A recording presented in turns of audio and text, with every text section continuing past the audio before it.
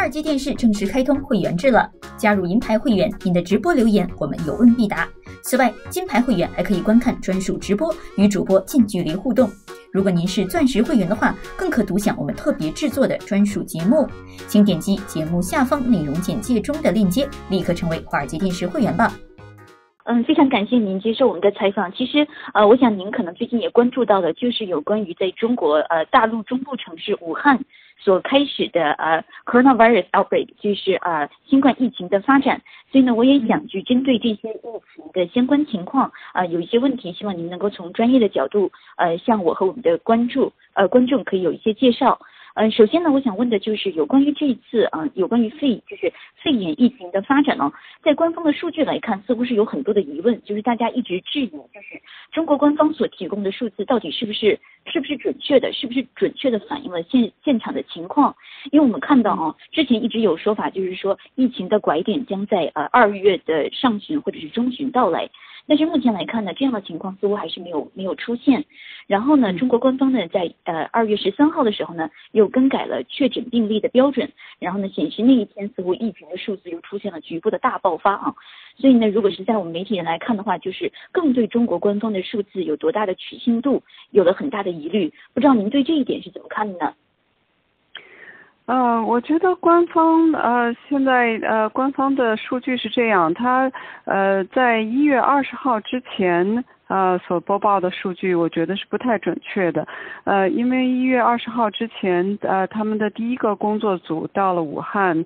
呃当时虽然武汉当地的医疗。呃，官员呃宣布了有这样的二十七例这样的肺炎，但是他们当时他们认为，呃没有人传人的危险，他们觉得这些病例主要是和这个海鲜市场有关。所以呢，呃，从一月三号到一月二十号之间，呃，基本上没有报呃更多的病例。当时呢是也是因为他们并没有呃启动全就是中国全国的这个 case reporting system，就是这个把疫情报道的这个呃系统。那么在一月二十号的十九号的时候，他们呃呃进有呃。呃，送了第二个工作组到武汉。那么这个工作组呢，就是觉认为当肯定是有人传人的危险，呃，所以就启动了呃中国国大陆国内的这个呃他们这个呃预警系统。所以我觉得。在一月二十号之后，呃，那么这个系统呢，我们可以看到每天都从基本上是从呃全国各地呃三所有的这个呃区县都有这个报道。我感觉他们这个系统还是呃因为是在呃非典之后建立的，而且也有法规，就是说不能够呃瞒报。嗯，所以我觉得在一月二十号之后的数据从呃。性质上来说，应该是没有瞒报，但是呢。这个数据也会有一些它的嗯局限性，因为一个呢是武汉地区，它这个医院已经呃早就超爆满，所以很多呃病人他有症状之后去医院，他也不能够呃接受检测和和治疗，呃所以呢就是我觉得有很多的轻的轻度的病例，呃如果他没有危及生命的话，他很难呃住进医院或者接受接受检测。那么这个情况大概在一周前，就是因为他们开了两个新的医院之后，稍微有一些好转。然后另外呢，也开始有人对这个检测到底它的假阳性跟假阴性。呃，这样的呃，有多少案例是假假阴性的？这个提出了怀疑，所以我们看到就是在两天前，呃，当这个新的新一任当当时他们把现在的这个党原来的这个这个领导呃解除了解雇了之后，有新的领导进来，我想他们可能又有一个新的方案，所以当时两天前他们把这个病例定义给改变了，就是说这不光是考。依靠这个检测，还依主要更多的是依靠这个呃呃 symptom，就是临床的表现跟这个 CT 对肺部阴影的呃诊断来呃来做诊断。所以我们看到昨天呃前天这两天的数据有大量的增加，我觉得主要是因为它的这个呃对案例的。嗯，这个呃数就是定义方法改变，所以造成了大大批的增加。了解了解，呃，刚才其实我们讲到，就是中国官方对于这个案情的回应啊，其实还有另外一点蛮有争议的，就是中国方面似乎是对于国际专家进入，呃，一直是有某种勉强或者是犹疑的态度。所以呢，之前我们也是从 CDC 这边就听到了，就是说美国专家一直希望能够成为 WHO 团队的一部分，到中国去实地进行呃相关的合作项目。但是有关中国到底允不允许美国专家去，好像现在并没有可看到非常明确的结论。那不知道您了不了解，就是这一方面，呃，中国官方为什么愿意或者是不愿意让美国专家到到当地去呢？是不是呃有一些什么样的考虑呢？对，我觉得对美国专家呃愿希望去中国进行一一些呃辅助的调查和和研究呃这个我也听到一些消息呃看来现在是美国 CDC 希望派呃呃这个呃专家过去，但是中国那边还没有给最最后的决定，已经拖了比较长的一段时间。这个对我们来说，对我自己感觉是是非常呃遗憾的这么一个事件，因为我觉得呃像我们经常把呃这个事件跟非典呃零三年的非典比较，因为在非典的时候，中国的公共卫生系统基本上是跟全球卫生系统是脱节的，但是在非典之后，中国政府认识到呃就是这个他们的这个呃呃应急系统和公共系呃公共卫生系统是落后的，所以在零四。四年零五年开始，他们呃等于是开放了他们的这个政策研究呃的这个领域，跟很多国际专家，包括美国的专家，包括美国 C 疾控中心都有很多的合作。所以从零三年到现在，呃，在很多像呃禽流感和呃呃那个猪流感，包括呃这个埃博拉。还有这个 H7N9 这个几次的呃，在中国的有跟中国有关的爆发，那中国都是和呃美国呃疾控中心有非常好的合作，嗯，那么他现在这一次，呃，我觉得也可能是跟这一两年。呃，中美关系之间的这个呃，有很多的脱钩的说法和和包括有一些数据分享，有一些敏感度，我觉得可能是有关系。但是因为我也不是决策人，我我是希望呃中国呃政府能够呃把这个中美两边同时都是就是把呃国 health 国际健康、国际卫生呃这些研究领域不要跟其他的这个敏感的。就是科研领域，呃，混淆在一起，至少保护这这方面的合作。所以我也是期待，希望看到中国政府能够，呃，还是以一个比较开放的呃合作的态度啊，来和美国疾控中心合作。了解了解，呃，我的另外一个问题其实是有关于呃，现在呢，呃，因为中国你也知道，中国现在面临着比较大的经济下行的压力啊，特别是在今年。呃，那么实际上，呃，如果没有这个疫情的话，那么可能中国经济会渐渐随着这个中美贸易协议的签署啊，会渐渐进入一个正轨。但是现在由于突然爆发了这样一个黑天鹅事件，似乎大家就是对于中国经济的担忧也加深了。然后在这种背景下呢，就是呃，中国国家主席习近平在前几天呢就做出了这样的指示，就是说，呃，该复工的就要复工，特别是国家的重点行业。那么，您觉得在现在疫情这样的一个发展情况下，做出复工这样的决定，是不是呃为时过早呢？还是您觉得时机已经比较成熟了？对，我觉得这个是一个很好的问题，嗯，因为大家也都没有一个确定的、确定的答案。呃，我知道中国有一些智库跟研究人员正在计算，就是这个复工的规模，呃，和这个疫情的呃规模的呃这个相关性。呃，所以我们呃也，我觉得一方面还是靠一些呃这些数据模型可以给一些预测吧，但是当我们呃从公共健康的角度来说，会非常注重这这一周跟下一周的一些数据，因为现在正是一些民工返返回呃工厂。呃，跟一些这个人流呃开始流动的时候，呃，我们很害怕会有就是一些就是其他的中国呃大陆里面其他的省市会像呃爆发类似呃武汉，就这个是我们关注的现象，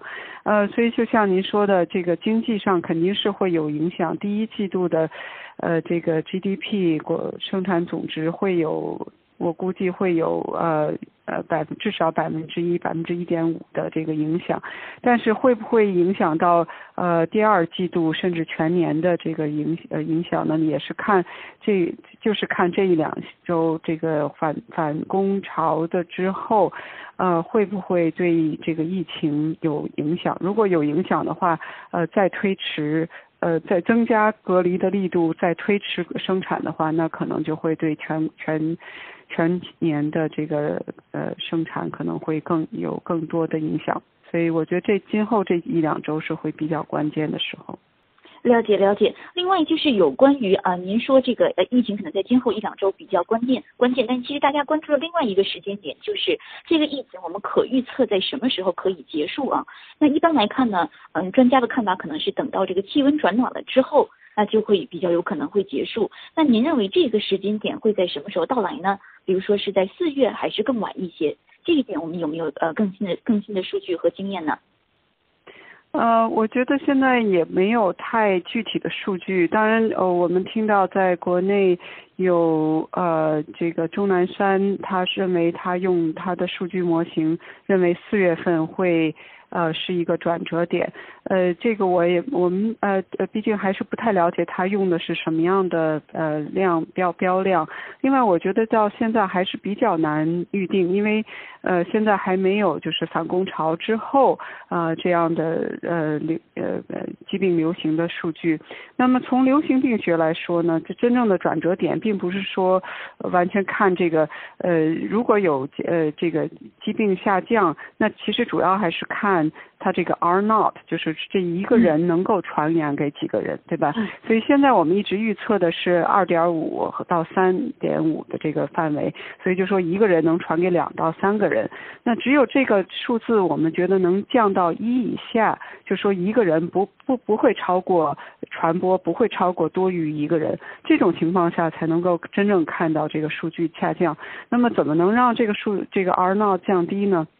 现在我们第一没有没有疫苗，第二没有呃最有效的治疗还不太了解。那么第三呢，我们唯一能够用的就是我们所谓的 social distancing，就是隔隔离和这个嗯大家的防护。嗯，那所以从这个角度来说呢，呃，那大家的防护意识提高了，也许可以呃减少这个传染。嗯，那呃，但是我觉得这个拥挤状况，包括这个共同呃空间的享有，这些都会呃是另一方面，等于是增加这个 R not 的可能性。所以我们现在还很难说这个到底这个 R not 是上升还是下降，在呃今后这一两周里面，也许我们会有更更明显的、更多的数据来表示。至于温度，我我我自己感觉这个温度对它的病毒的影响，嗯，不见得会像流感那样，或者说像 SARS 那样到夏天马上就结束，因为我们看到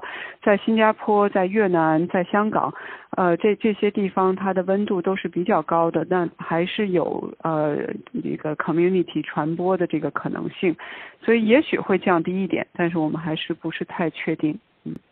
了解了解，那最后其实我还想问您一下，就是关于国际社会这次呃对于中国疫情的反馈啊。那其实嗯这次我觉得和非典相比，让大家觉得比较惊讶，也是觉得比较戏剧性的，就是似乎各国都非常快速的对于中国的旅行啊以及人员采取了限制措施。那么呃不管是强制隔离也好，还是就是禁止有过中国旅行史的人入境也好，那这样的措施您认为是不是某种过激的反应呢？还是就是在现在的情况下？的确是，呃，怎么说，预防性的合理的反应呢？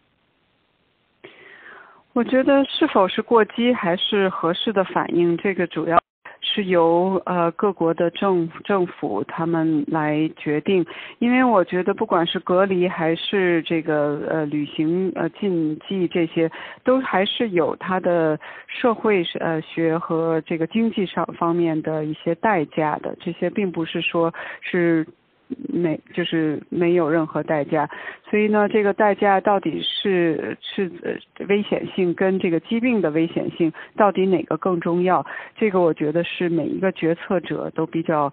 呃，难，呃，就是是是他们决策者一般面临的一些难题之一，特别是在我们现在就是这个呃，最终毕毕竟这个病毒到底它呃有多快的这个人感染上之后就能够传给别人，另外从到底是由什么途径来传染的啊，包括这个人的带每一个病人他带毒病可可以传染的时间有多少，我们很多这些问题都还不了解，在这些这这这种不确定。定的情况下做决策是确实是很难的，但是现在呢，世界卫生组织它呃，当它做做出这个就是呃 PHEIC 呢，就是全球的公共卫生紧急紧急状态的时候，并没有说一定要。呃，减少这个 travel，而且现在我们觉得对中唯一针对中国的这个 travel ban 并不是太科学，因为现在我们呃很多国家，包括现在非洲跟拉丁美洲，虽然没有报道，那是因为他们没有这个检测的能力，呃，所以到底这个病毒有没有传到别的国家，其他国家有没有已经开始蔓延，我们都不知道。如果只针对中国的话，呃，这个可能会造成一些假象。样啊，造成就是大家觉得我们只要防住中国就可以了，那其他地方呢没有关系。但是这个我觉得是非常危险的一个假象。了解了解。那最后我其实还想问您一个问题，就是有关于现在美国方面呃对于在美国境内的这样的一个病毒的控制，您可以简单介绍一下已经采取了哪些措施，还有您认为啊哪些方面做的不够完善吗？嗯，好，这个美国呢，他这次抓的还是很比较比较紧急的。呃，他第一呢，就是动用了一些呃 emergency fund，就是在特特别情况之下，呃，那那个众议院有一些呃资助，那么他们把这个资助资金给了呃美国疾控中心。那么美国中疾控中心做了几样事情，那么一个呢是他们呃把这个疾病的呃报告给了各个州啊的呃州州。政府，然后特别他们也呃派了一些呃专家到这个呃去去一些隔离的地带，特别是从武汉搬出来的这个 evacuate 出来这么将近六百人吧，呃他们现在在隔离状态，所以他们也有美国 CDC 也有去专家去呃去帮助，呃另外呢呃当然他们开始了这个 travel ban，呃这个 travel ban 我是觉得不应该只针对中国来的人。的外国人，呃，但是呢，现在呃，so far 现在是这么一个行为，但他们也有一个 tracing，就是把所有从中国过去两周来的能够进来的中美国人，他们都有记录，啊，那么第三呢，他们现在在考虑就是怎么来。做一些嗯储存就是医疗的设备、医疗的呃能力啊嗯来预防，就是如果一旦有大爆发的话，各个医院来怎么来行行怎么来啊对应这个这样的疫情，他们也做了一些准备。那么第三呢，他们做了一些很很多就是对呃。呃，美国公众的一些教育，呃，比如说怎么也常经常要洗手吧，或者怎么来啊保护他们自己。那么第最最后一点呢，他们也做了一些呃这个。比如在 Twitter 这个这些和一些社交网站上，呃，比较宣传针对的宣传，呃，就是不要听从一些谣言，而是通过美国 CDC 和这些地方能够给一些正确的呃呃引导。所以这个我觉得跟公众的交流啊也是很重要的一部分。所以现在他们主要做的是是这些事情，当然他们另一部分就是他也呃很快的做出来了呃试剂，呃然后他们也用这些试剂来支持呃世界卫生组织和其他的国家的一些检测，啊所以这个是在他们在美国国外的一些啊一些呃工作啊也也开始进行。华尔街电视正式开通会员制了，加入银牌会员，您的直播留言我们有问必答。此外，金牌会员还可以观看专属直播，与主播近距离互动。如果您是钻石会员的话，更可独享我们特别制作的专属节目。请点击节目下方内容简介中的链接，立刻成为华尔街电视会员吧。华尔街电视正式开通会员制了，加入银牌会员，您的直播留言我们有问必答。此外，金牌会员还可以观看专属直播，与主播近距离互动。如果您是钻石会员的话，更可独享我们特别制作的专属节目。请点击节目下方内容简介中的链接，立刻成为华尔街电视会员吧。